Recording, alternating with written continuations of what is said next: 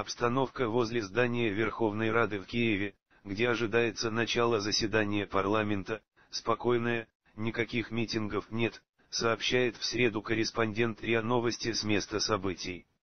Несмотря на отсутствие митингов и спокойную обстановку у здания парламента правоохранители в усиленном режиме несут его охрану. Недалеко от здания Рады стоит около 10 автобусов со спецназовцами.